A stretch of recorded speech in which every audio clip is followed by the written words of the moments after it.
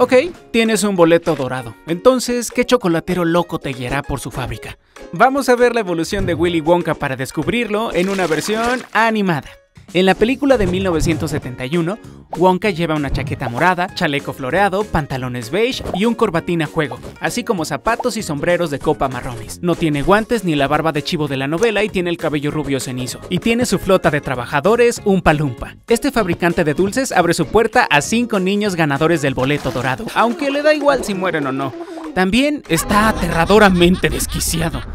Al final, regala su fábrica al único niño honorable, Charlie. El Willy de la siguiente era es una caricatura, tiene guantes blancos y un corbatín rojo. Además, se utilizaron varios recoloreados vibrantes y ligeros rediseños. Una versión live action promocional de este Wonka lleva bufanda y mangas rojizas, sin guantes, cabello oscuro y amor por la magia y también apareció mucho en televisión. El Wonka del cómic sueco lleva una chaqueta rosa descolorida, pantalones morados, pechera blanca y un sombrero de copa más largo con una flor. También tiene el cabello negro y revuelto, barba de chivo como en el libro y es bastante bajo, aunque esta versión es casi completamente un archivo perdido. El Wonka de mediados de los 90 tiene un sombrero de copa completamente morado y es pelirrojo. El vestuario del Wonka live action promocional también fue alterado para que coincidiera con esta mascota, pero sin el cabello rojo. El Wonka de Nestlé de finales de los 90 se inspira en la película de 1971, con el color del traje de las mascotas anteriores y pantalones verdes. También tiene una versión Claymation y un render 3D de ojos saltones que apareció en comerciales del Reino Unido.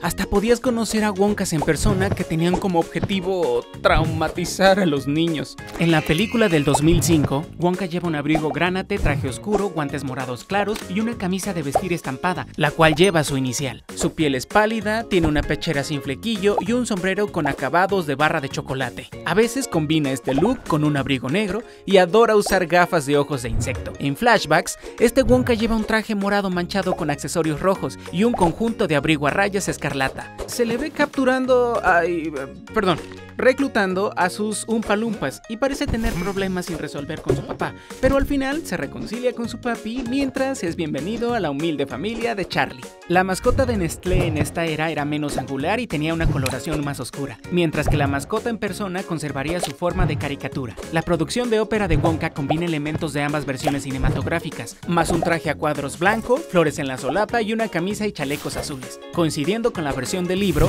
los Wonkas de Broadway llevan una chaqueta de color ciruela, pantalones verdes, chaleco ámbar y guantes blancos, aunque generalmente no lleva el gran corbatín. Las versiones más únicas de Broadway incluyen el Wonka noruego rubio al estilo Riddler, la versión danesa con un traje oscuro estampado y delineador de ojos, el hombre de los dulces de Brasil incorpora más morado y un chaleco de colores, el chocolatero francés lleva un colorido atuendo de Wonka de 2005, el fabricante de dulces de la gira por el Reino Unido lleva una paleta de colores naranja, el confitero japonés incorpora un segundo corbatín masivo, cabello largo plateado, mucho maquillaje y un sombrero chocolatoso, y a veces lleva un traje beige. Y el artista del azúcar griego lleva una bata, botas de lluvia negras y tiene el cabello en punta. Mientras que estos dulces musicales han mantenido viva la marca Wonka, volvamos a las versiones en cine. En la película de Tommy Jerry, un Wonka animado del 71 tiene un chaleco rosa, corbatín más grande, cabello más oscuro y expresiones dignas de meme. Aunque aparte de incluir a Tommy Jerry, esto añade poco o nada a la historia. El Wonka de Service Now también recrea la versión de los años 70, pero tiene un chaleco y corbatín más oscuro, cabello marrón y es apasionado por las soluciones de trabajo eficientes. En la precuela espiritual, un Wonka más joven lleva un chaleco peludo combinado con una camisa de botones de color verde mixto, un abrigo magenta con bordados dorados, pantalones a rayas beige, botas altas marrones y un sombrero de copa abultado. También le encantan las bufandas y tenía una buena relación con su madre, que ya falleció. En esta película, para vender sus dulces, él, su joven asistente y un Umpa Lumpa se enfrentan a los rivales de dulces corruptos hasta el final agridulce. Y con una serie de parodias notables, está claro que Willy Wonka seguirá causando caries a muchas generaciones en el futuro. Descubre más animaciones en el canal. Un gran saludo a Joseph Bradley por su retrospectiva sobre Wonka. El link está aquí abajo. Denle like, suscríbanse y toquen la campanita para saber cuando se lanzan nuevas animaciones.